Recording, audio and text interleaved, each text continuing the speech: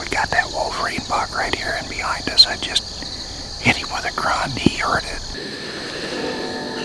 Oh gosh, I'm shaking like I just shot him. Like they usually do, she only ran a little ways to stop and then look back and offer that perfect shot.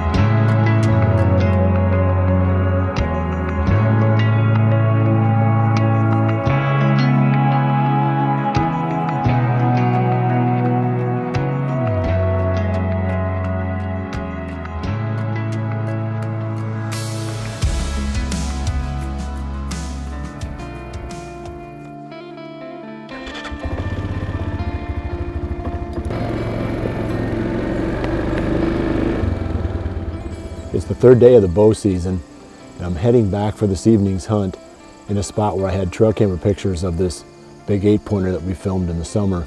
And this is one of three deer that I've identified on the farm so far that are old enough to be what I would call shooter class bucks. I try to get to five and a half years old whenever I can. Sometimes we misjudge the deer because we don't really know that well, but these bucks I'm pretty sure are at least that age. So it's this one, uh, this eight pointer, and there's one that we call the bladed 10. He's a deer we've got, we've got a lot of history with that deer. Then there's another one that we call the tube buck, and that's another deer that we've seen on the farm for several years. So tonight, uh, hopefully that eight pointer will show up. It's really cooled off a lot. The temperatures are probably 20 degrees cooler than they were yesterday.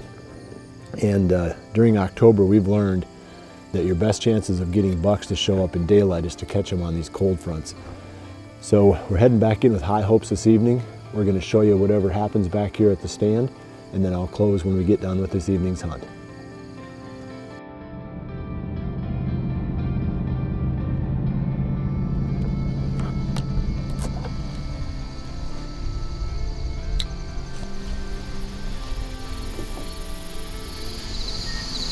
Man, what a beautiful evening.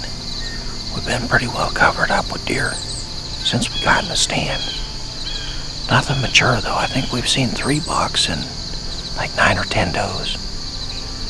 But the Wolverine buck so far is a no-show. It's like 6:20, so we're just getting into prime time. I'm still hopeful. We'll set in here and see what happens.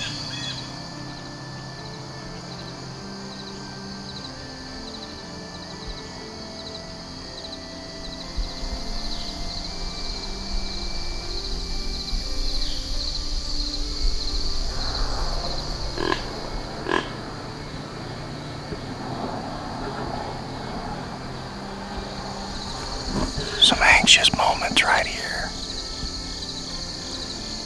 We got that Wolverine buck right here and behind us. I just hit him with a grunt. He heard it. He's got to cross a ravine right there. We'll see if he comes this way. It looked like he was kind of angling off to the east, but we'll see.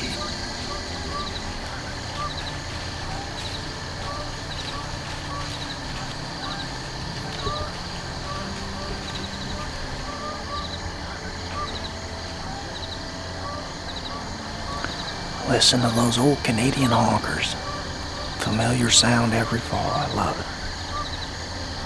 Man, what an awesome sit. Got to see our target buck.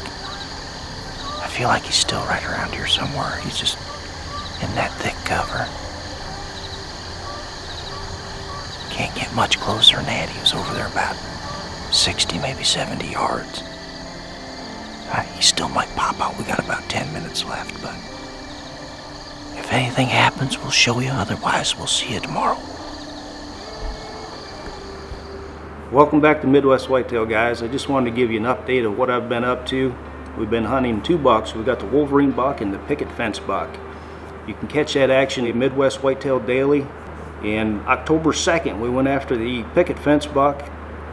Didn't see him that night, so then October 3rd, I went down and hunted the Wolverine buck, which we had a great hunt, a good encounter with him, a close call, as you'll see. But on October 3rd, picket fence buck walked right by the blind we hunted October 2nd, 5 o'clock. So we just missed him by a day. So I think it's just a matter with these cool fronts, just putting your time in, making sure you make it out, and don't wait for daylight picks on these cool fronts because you might miss your opportunity. So that's what we're going to do coming up. We've got another cool front coming in, actually a cold front. This Thursday, they're calling for more rain, and then the bottom's going to drop out on the temperatures. It's going to be down in the almost 30 degrees, I guess, for a low, and in mid 40s for a high. So some big bucks are going to go down. I've got a feeling it's uh, one of those where you got to make it out if any way possible. This weekend, I had a really good hunt. You know, with this cold front that moved in, I had a couple excellent hunts. I know Josh Sparks did. He had a great hunt as well. I know this coming week we're going to concentrate on the two bucks, Wolverine and Picket Fence. We're going to just kind of bounce back and forth based on the wind direction and try and keep each area fresh. That's the key this time of year is don't put too much pressure on them, but when the weather conditions are right, you got to move in on them. So I feel like we could have got it done, just a matter of picking the right spot this weekend, and I feel like it'll be the same next week as well. We're in a very familiar spot, as I'm sure you guys can tell. This is the same bean field that I harvested my buck last year in the 2018 season. We got about three hours left. We're gonna sit back and relax and uh, just take in and enjoy the first hunt of the year. I'll shoot that deer.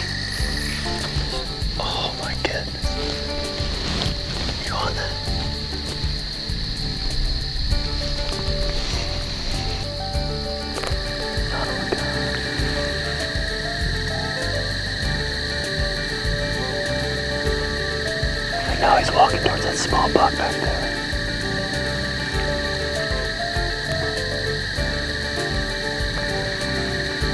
What an incredible way to start off the year.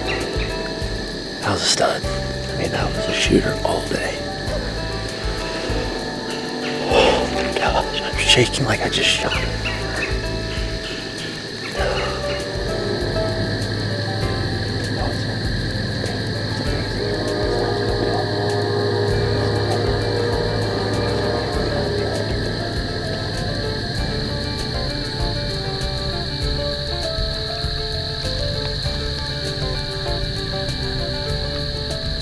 Oh, we just snuck out of there, and um, man, I don't even know what to say about tonight other than it's a lot more than what we expected.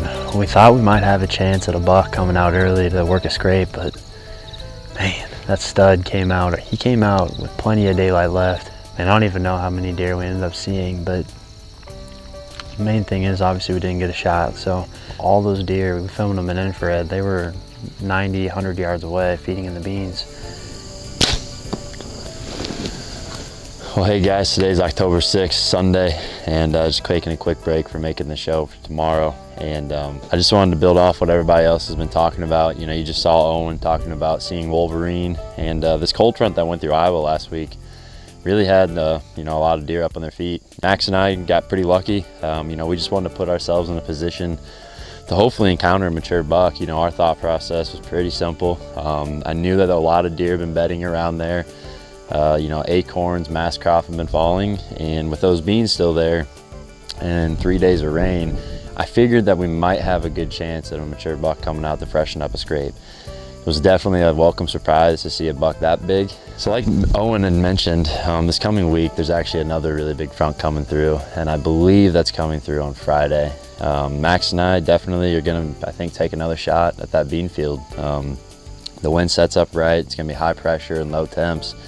And that's definitely the three things you're looking for this time of year. So as far as that buck goes, I'm not necessarily set on him. I would love to see him again. Don't get me wrong, but I'm, you know, one thing I've learned hunting public lands to not get attached to one deer. You know, there's so many variables that are not in my control as far as him sticking there.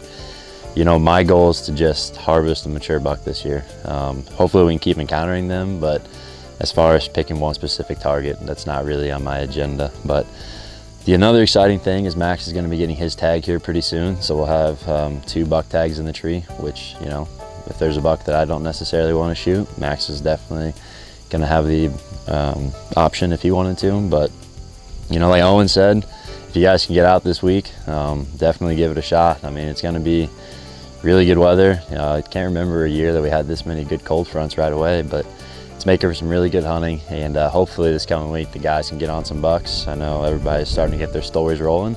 So appreciate you guys joining this week. And uh, hopefully next week we can come back with some more action. Come on, dude. Yeah, good boy.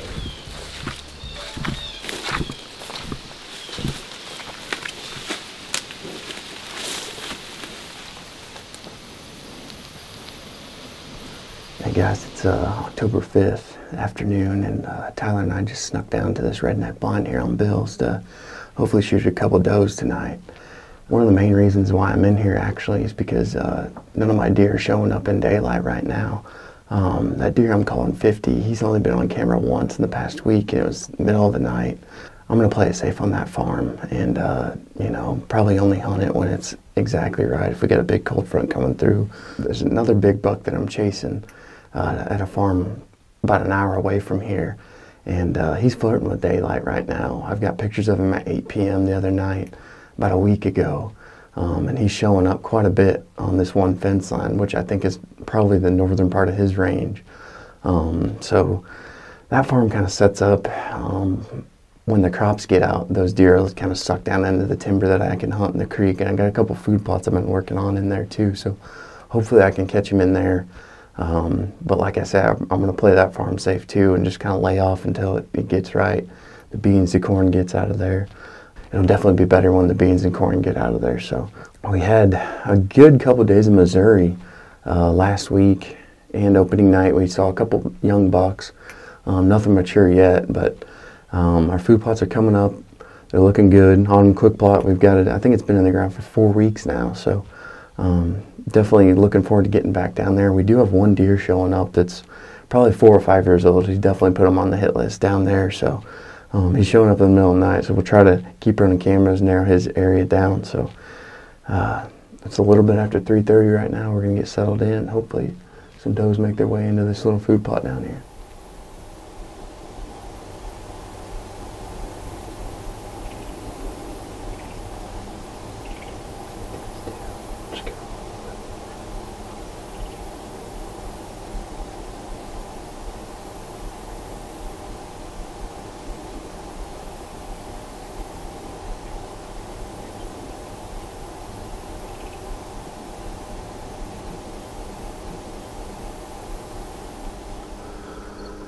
Well, we're down to about the last 40 minutes or so. It's been real slow.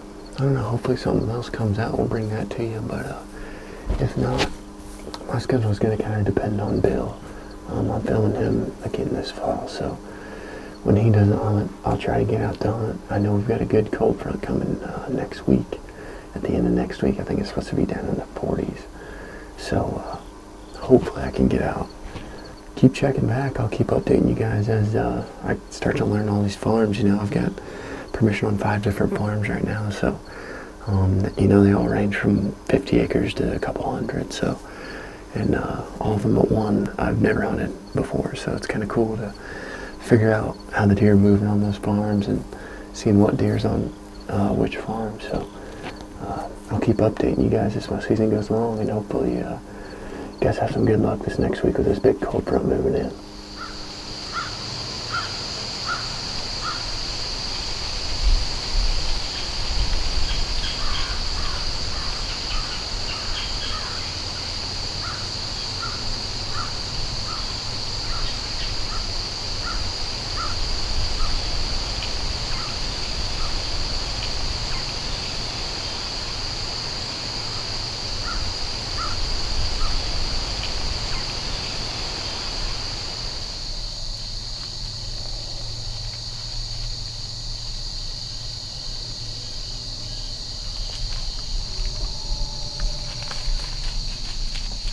Yeah.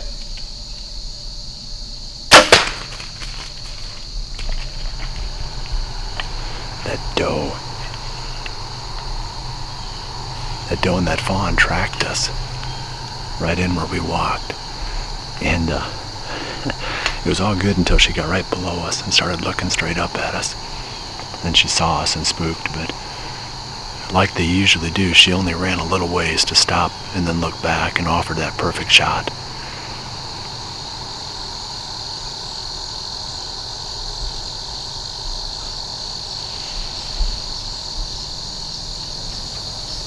Down to the last half hour of legal shooting time, the only two deer that have come out were the button buck and the doe, and ended up ended up shooting that doe. But uh, something could still come out this evening. It's it's really pretty. Uh, the wind is laid right down. Beautiful sunset. This is the time of year that we all look forward to. Just cool temperatures, probably in the lower 50s right now, I'd say. And it looks like the forecast is going to be good, you know, for, for hunting purposes for you know, several more days now. So I think, you know, we're going to hit it pretty hard. Uh, hopefully, you, know, you get a chance to get out because I'd say this next week coming up uh, could be, you know, a pretty decent time in the field. If not uh, to hunt bucks, at least to fill some doe tags. And we're going to do plenty of that too.